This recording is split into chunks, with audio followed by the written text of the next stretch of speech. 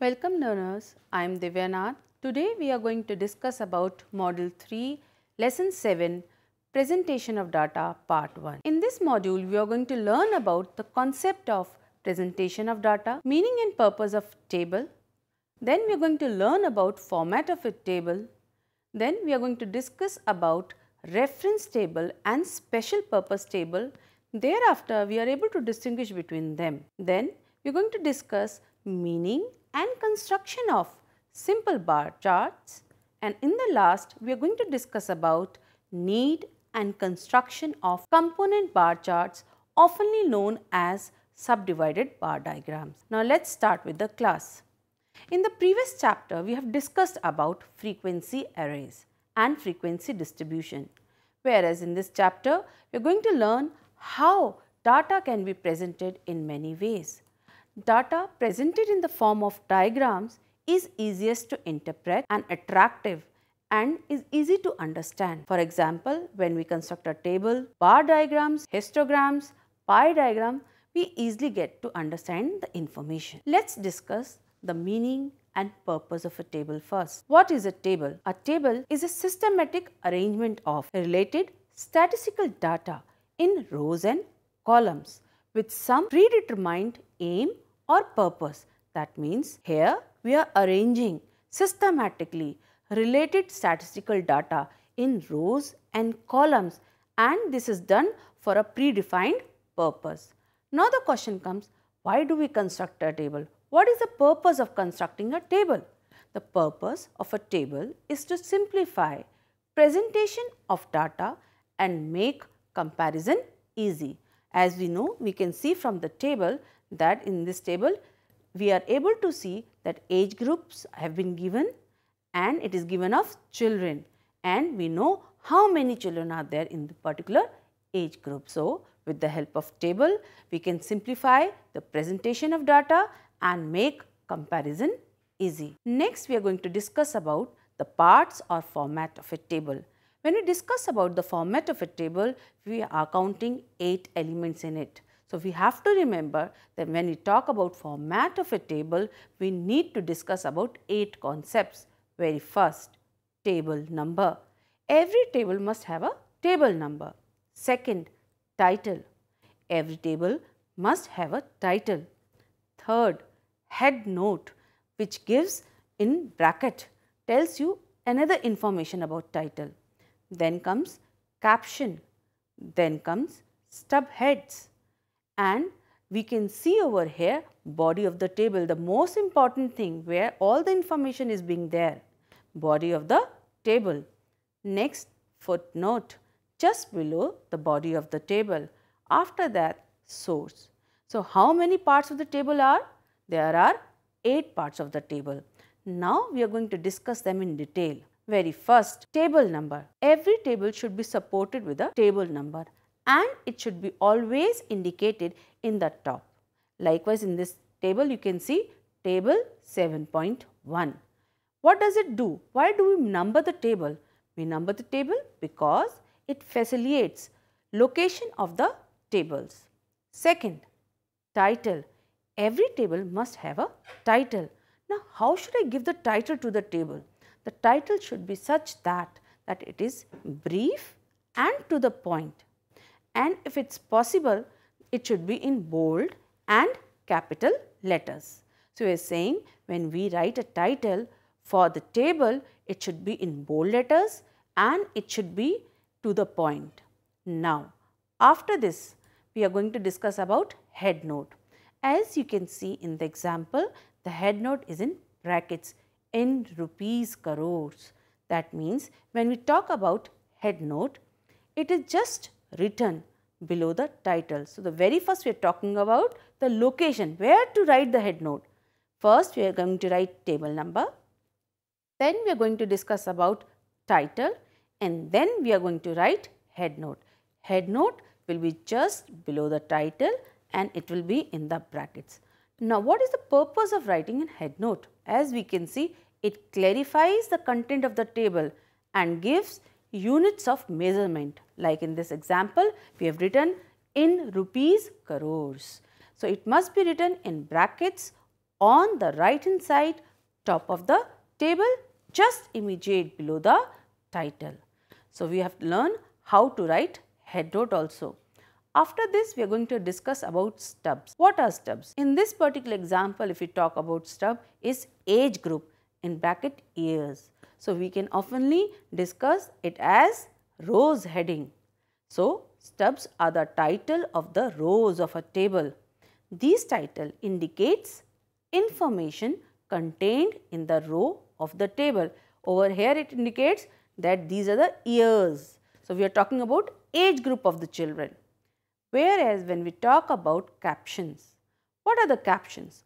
Captions are the headings of the column. It is the title given to the columns of a table. It indicates information contained in the columns of the table. Over here, the caption is number of children and here we have discussed so many children are there. So, we have learned about stubs and we have learned about caption. Now, the next main body of field. So, when we talk about main body of the field, it starts from 3 to 5, 5 to 7, 7 to 9, 200, 125, 318. That means all the numerical information contained in the table is main body of field. It is the most important part of the table because it contains the numerical information about which a hint is given in the title. Now the next footnote. Footnote will be just below the body of the field. So I should know very first where I should write the footnote. First thing it is just below the body of the field. So below the body of the field we are going to write footnote. Now what is the purpose of writing a footnote? It is for clarification of the reader. Suppose the time is depression or recession or demonetization. If I am collecting a data in that period, I should mention because the data would vary a lot as per the normal periods. So, it is very important to write footnote in certain situations where information need to be supplemented. So, once again footnote is given for clarification of the reader. It is mentioned at the bottom of the table. They are generally given when the information in the table need to be supplemented. Next, most important source of data. I am making a table and have not written from where the data is being taken. No importance will be given to the table because originality could not be checked. So, source of data. It is essential to mention the source of data presented in the table. It helps the reader to check the original source of data himself and get more of it on the subject. So, if I want to get more knowledge, if I want to know more, then what I am going to do? I am going to look for that particular site or look for the particular reference, log in and I will get more information about that. So, students we have learned about the parts of a table. How many parts are there? There are 8 parts. Very first was table number, then we have discussed title, after that we have discussed head note, then we have discussed about stubs and captions. Then we have discussed about body of the field and footnote and the last source. So, once we know about what are the different parts of the table, now I can discuss the different types of a table. There are two different types of a table. Reference popularly known as general purpose tables. Other is special purpose or test tables. So, tables can be constructed in two ways. Let us discuss them in detail. Very first, reference or general purpose table. Now, it is that table which is of general use. A lot of information, content is there. So, it is just a data bank for the researchers for their studies. For example, as you can see, census reports of India, a lot of information regarding employment, regarding income, number of members, education, all different kind of information is there in this report. So, we are saying general purpose tables are of general use. Such tables are just data bank for the use of researchers for their studies. Next, what are special purpose table or test tables? Now, these are those tables which are prepared for some specific purpose in mind. That means they are being made for some special purpose. Now, if you are going to make some small table and it is for your own purpose, it will be called as test tables or we can say special table. Now, these are small tables limited to the problem under consideration. So, that is why they are also being called as or represented in the form of result or analysis. Suppose I want to know about sales of a particular company, then it is a small table. It will relate to 12 months from January to December and here we are going to record the sales that is all a small table. So, we now know what is a general purpose table and a special purpose table. Once we know different types of tables, we can discuss how to construct a table. Let's see with the help of an example. Now we have done the parts of a table, I know how to do it, what are the different parts of the table. After that I have learned the different types of table, I can construct a table. So when we talk about the example over here, there are 50 science, 50 commerce and 50 art students in a college. So very first thing when I read the first line, it becomes very clear that we are talking about streams of education, science, commerce, art and they have given us the total number of students. The number of students from poor families is same for each course and their total is 30. Now, the next information is that they are telling us the number of students from poor families is 30. So, total students have been given. Now, the family category is poor. So, they are talking about the status, economic status right now. Next, whereas science and commerce courses are equally popular in rich families. Now, we are talking about rich families, right? Next, they are talking about yet the number of rich art students is twice as much. They are giving us specific information. So, point by point we are picking each of the information and analyzing it. We need to do it because the first step to construct a table is to find the data and classify into different similar groups. That is what we have learned in previous chapter.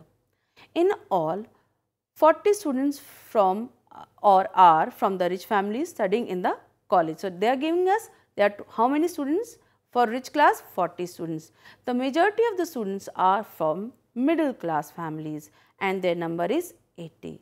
So, first step I will classify my raw data into science, commerce and arts for each of the category for poor, for middle class, for rich class. So, let us see what we have learned over here from the whole question 10 students for science, 10 for commerce and 10 for arts in case of poor families. The line is being given the number of students from poor families is same for each course and there is total of 30. So, if you divide equally into 3 streams, we get 10, 10, 10, 10 for science, 10 for commerce, 10 for arts. Now, the next, in case of rich families, they have written, whereas science and commerce courses are equally popular in rich families, yet the number of rich art student is twice as much or how many students are there? 40 students are there. So, if I want to make a twice and make equal for commerce and science, then it would be 10 for commerce, 10 for science and 20 for arts. So, from this line we have divided the information into different category. Now, for the middle class when we talk about the total strength is 80. For here we need to calculate it by subtracting what we have got because over there in the top line it is being given that there are 50 science students, 10 for poor families we have done. Then we have discussed over 10 for rich families. 50 minus 10 minus 10 gives you 30 commerce students. Likewise, 50 minus 10 minus 10 gives 30 students for commerce. Likewise, 50 minus 10 minus 10, 30 for science. Now, for arts, 50 minus 10 minus 20 is equals to 20. Now, I have taken out the data and classified into similar groups, the first step. Let us see how we have constructed the table.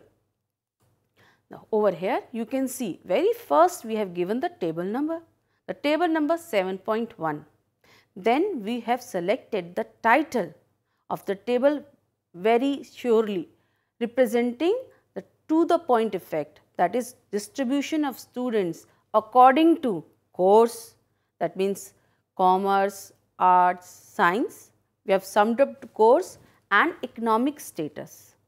So, now we have given the title to the table then we have drawn the table. You can see over here in rows we have got economic status and in the columns we have given course status.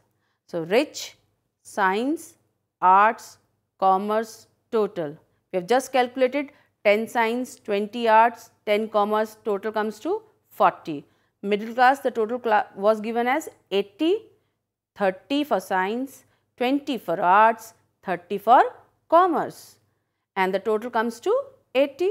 Whereas for the poor families, what has happened?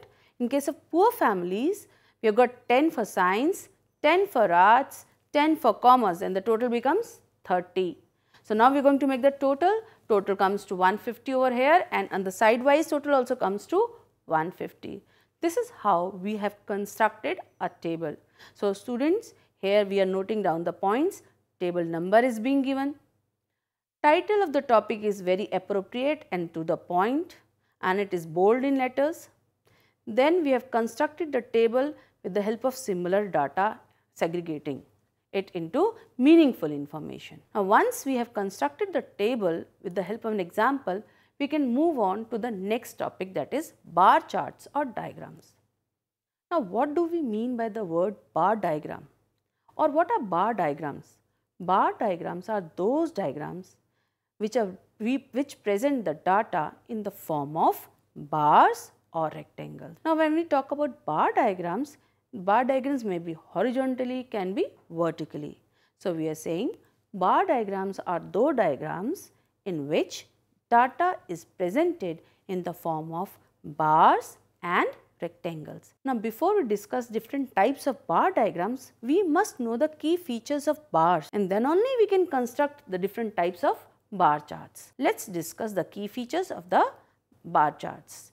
The very first key feature with the help of this diagram we can observe the length of the bars can differ according to the values. So, we are seeing that the length of the bars are up and down that means the length are varying whereas the breadth remains the same. You can see in all the bars, all the rectangles the length are changing but the breadth remains same. Now, these bars can be vertical or horizontal. So, we are saying the bars can be vertical or horizontal. Over here the picture is drawn in the form of vertical and vertical is more popular. We normally do not draw horizontal bar diagrams. Now, the next key feature bars are equidistant from each other as you can see the distance between the bars are equal. Now, the most important feature, all bars have a common base line. So, here we have learned about the key features about the bar diagrams. Now, we can discuss different types of bar diagrams. There are mainly two different types of bar diagrams. One is simple bar chart, other is component bar chart. When we talk about simple bar chart, in this we can also discuss about single bar chart where single data is being given multiple bar chart where two data or more than two data are being given to us. So, let us discuss them in detail what is a simple bar chart and then we are going to discuss about component bar chart. Now, what is a simple bar chart? Simple bar charts are those diagrams which are based on a single set of numerical data. That means, we got only one type of a data. Now, while we are drawing these bars, they can be vertical as well as horizontal. But as I have told you earlier, you will always go for vertical bars. Now let us see it with the help of the question.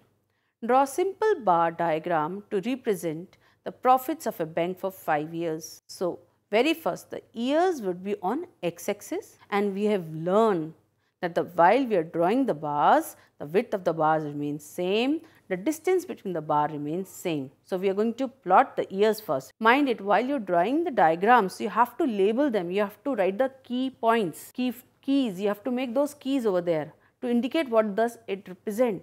So, we are first writing on x-axis years. Then we are plotting the years 1989, 1990, 1991, 1992, 1993 in such a way that they are equidistant and whatever the rectangles I am going to make, they will be of equal size in the width. Now, the profits. Now, the length of the bars are going to change as the profit changes. So, on y-axis, I am writing profit in millions that in dollars and then I am plotting it 0 to 10, 10 to 20, 20 to 30, 30 to 40, 40 to 50 as we can see the data starts from 10 ends up to 42. So, we have taken, we have just the first step for each student is that you must label your diagram first and then draw otherwise you will forget afterwards.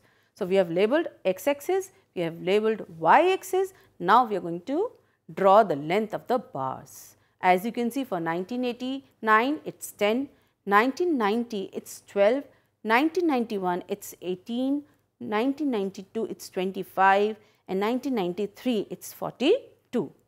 Is it okay? So, we have drawn the length. You can see the length is increasing as the value is increasing and on the right hand side we have just put a key.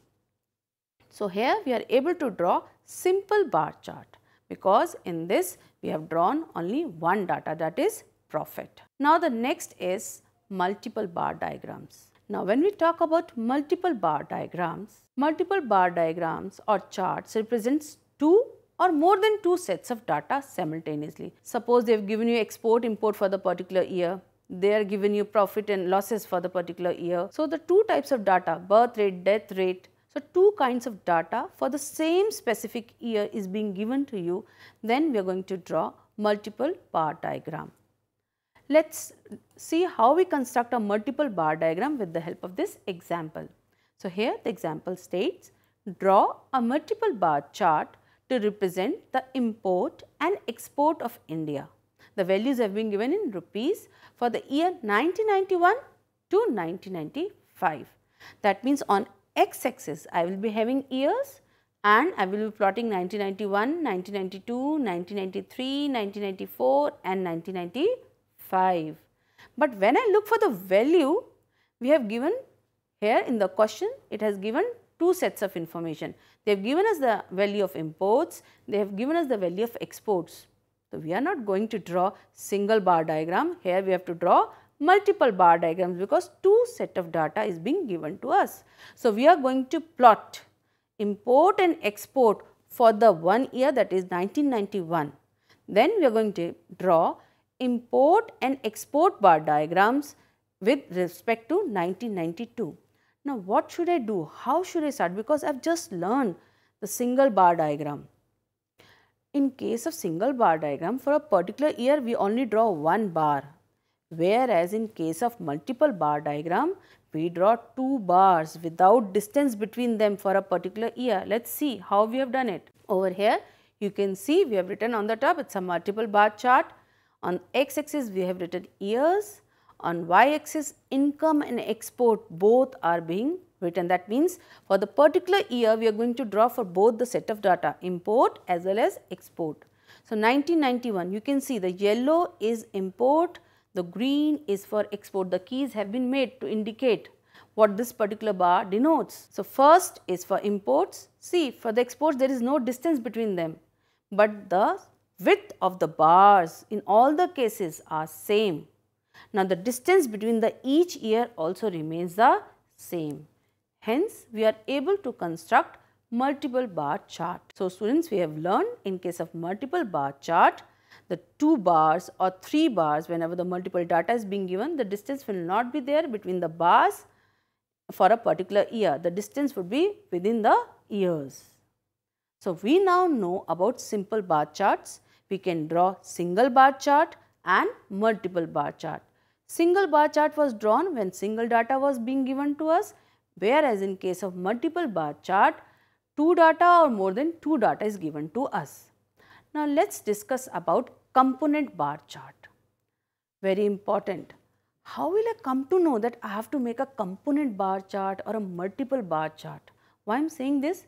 Because in component bar chart also more than two data is being given to us. Two data or more than two data is given to us. Now, if two data two sets of information is given to me or more than two sets of information given to me as a student, how will I identify whether I have to draw a multiple bar diagram or a component bar diagram? For this students, we need to see that the total is given. If the total is given in the question, then we have to draw component bar chart. Whereas, if no total as you can see in the previous example for the export and import is given to us, then in that case multiple bar diagram will be done. So, let us discuss component bar chart once again. Component bar chart is used to represent data in which the total magnitude is divided into different components. Now, let us see in the diagram particularly, you can see different three colors, one is blue, one is purple, other is nearest to orange. We can see these are the three components in the bar, that means three kind of data is being given to us. So, this is a component bar chart. Next, in this diagram, we first make simple bars. Now, the thing is how should I construct a component bar chart? Very first, I will make the bar length of the total value being given to us. That is why I told you in component bar chart we need to have a total. So, I will first draw a simple bar to the total of the given data to me. Then I will start dividing each bars for each class. That means we first make simple bar for each class taking total magnitude in that class then we divide these simple bars into parts in the ratio of various components. So, this type of diagram shows the variation in different components. That means in a single bar, I will be able to identify this portion belongs to this, this portion belongs to that. We are able to identify that as well as it also shows variation between different classes. So, this type of diagram shows the variation in different components within each class as well as between different classes. For example, stake chart. Now, let us take an example to understand it better. Suppose this question is given to me. Now, as a student, I have to think because I can see three kind of information is given to me. One is about pencils, one is about pens, one is about scale. Now, by seeing the question, before reading also, by seeing the data just, I have to decide whether it is a multiple or a subdivided bar diagram. Now, let us see because there are three kinds of information and total is being given to us. We have just learned when the total is given to us, definitely we are going to draw component bar diagram. But we have to read the question to analyze whether we have doing it in a right way or not. Sometimes the examiner tries to fool the children. What they do is that they give the total and they ask in the question to draw multiple bar diagram. Then the total is just for to make students confused about it. So here I am reading the question for you. The following tables give the amount of pencil, pens and scales produced by a company in the years represent the information in a bar chart. The question is not telling to us that whether I should draw a multiple bar diagram or I should draw a subdivided bar diagram. Now, as a student, how I have identified that I have to draw a component bar diagram because the total is given to it. So, that means the first bar for year 2008, the total length of the bar would be 85. For 2009, the total length of the bar would be 117 that means 117. For the year 2010 the total length of the bar is 140 and then we are going to classify into pen, pencils and scale. Let us see how we have done it. So, on the x axis we have mentioned year 2008, 2009, 2010. On y axis we are going to have you can see over here colors have been given scale, pens and pencil.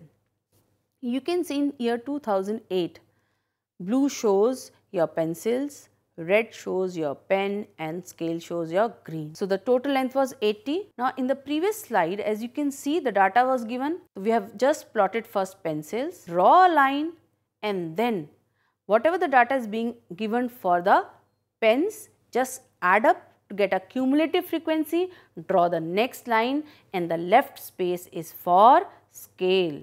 Likewise, for year 2009, I am repeating once again, first make a line for the pencils, whatever the data value is being given, then add to the value of pens to the pencils value, you will get a cumulative value, you will again draw a line and the leftover is scale. Likewise, you are going to draw the component bar diagram. Now, as you can see in the component bar diagrams, we can easily find the variations. How much is there between the years? In 2008, how much was pencils? In 2009, there was increase in pencils. In 2000, there was more increase in pencils.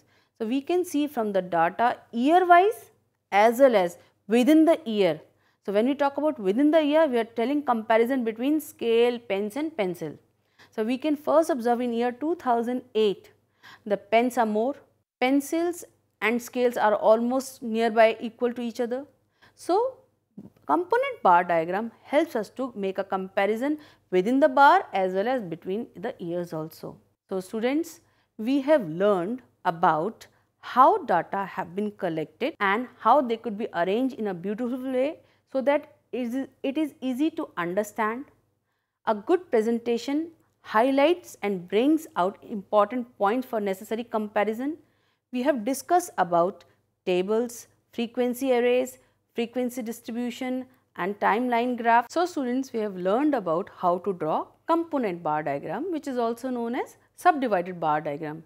Let us have a quick recap what we have learned up till now. We have learned that the data can be arranged and presented in some useful form.